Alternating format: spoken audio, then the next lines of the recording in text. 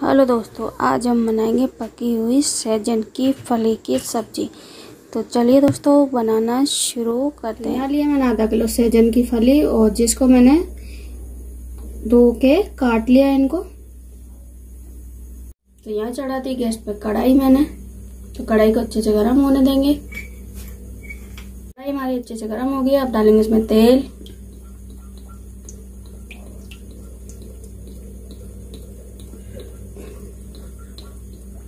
तेल को अच्छे से गर्म होने देंगे। हमारा अच्छे से गर्म हो गया। अब डालेंगे इसमें सहजन की फली।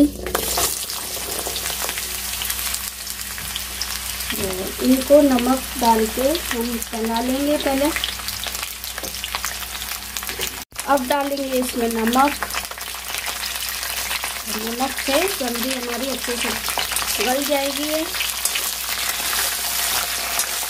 और हिला लेंगे एक बार नमक डालने के बाद मिक्स कर लेंगे। तो हमने अच्छे से मिक्स कर लिया है। अब इसको ढक के रख देंगे। करीबन पाँच मिनट के लिए। तो जब तक तो हमारी सहजन की फली गल रही है, तब तो बताते थे आपको मसाला।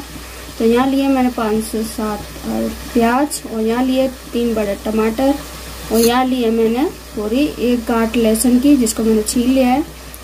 और इनको हम पीस लेंगे प्याज और लहसुन को और टमाटर को। बना लिया यहाँ पे प्याज और लहसुन का और यहाँ बना लिया टमाटर का। हमारे पाँच मिनट हो गए ढक्कन को हटा लेंगे वो चेक करेंगे। तो देखिए, ये हल्की हमारी गल गई है। ये देखिए, गोटा ये अंदर का होता है, जो गल चुका है। अब बनाएँगे मसाला इनका।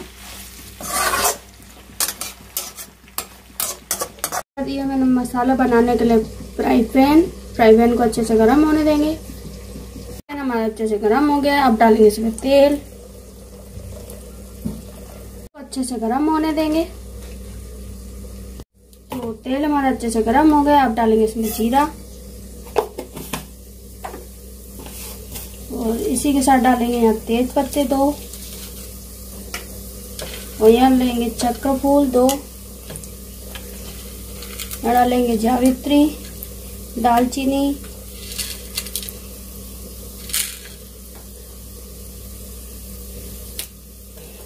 और यहाँ डालेंगे बड़ी इलायची। और यहाँ लिए मैंने छोटी चार इलायची। और कड़ी मसालों को अच्छे से सेक लेंगे हम। बड़ी इलायची जब भी लें आप, फोड़ के ही डालें। और यहाँ डालेंगे प्याज और लहसुन का पेस्ट।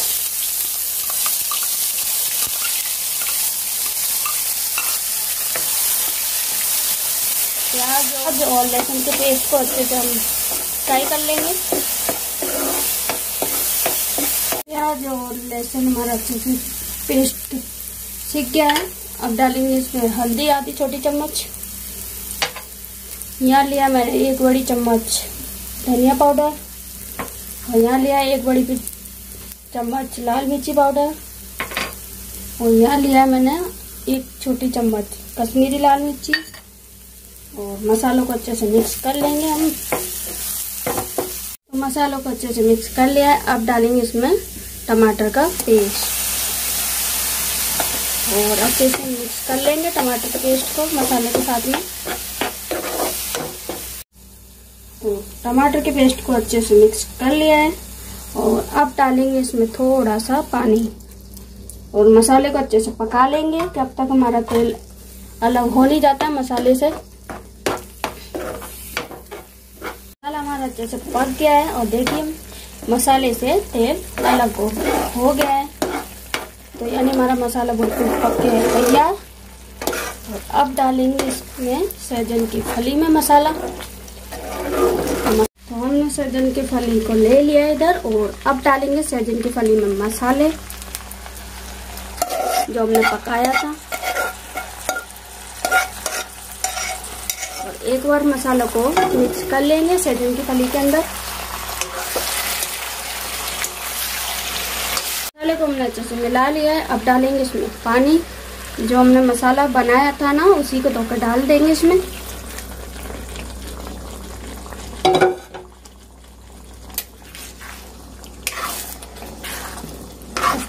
थोड़ा सा और डाल देते हैं पानी हम। पानी लिया है मैंने करीबन दो गिलास।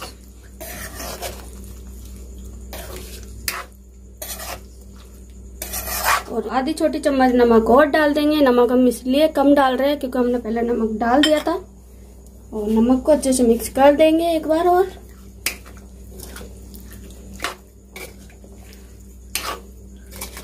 और अब इसको करीबन पाँच मिनट के लिए ढक के रख देंगे हम। पाँच मिनट हो गए ढक्कन को हटा लेंगे हम। और सब्ज़ी को चेक कर लेंगे एक और अब डालेंगे इसमें गरम मसाला।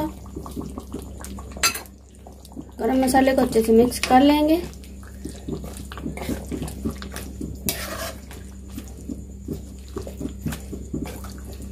गरम मसाला हमारा अच्छे से मिक्स हो गया है। अब डालेंगे इसमें कटा हुआ हरा धनिया।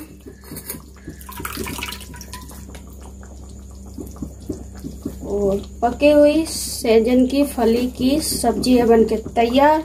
अगर पकी हुई सहजन की सब्ज़ी पसंद आई हो तो वीडियो को लाइक करें, चैनल को सब्सक्राइब करें। बेल आइकन बटन दबाना ना भूलें, कमेंट बॉक्स में बताएँ।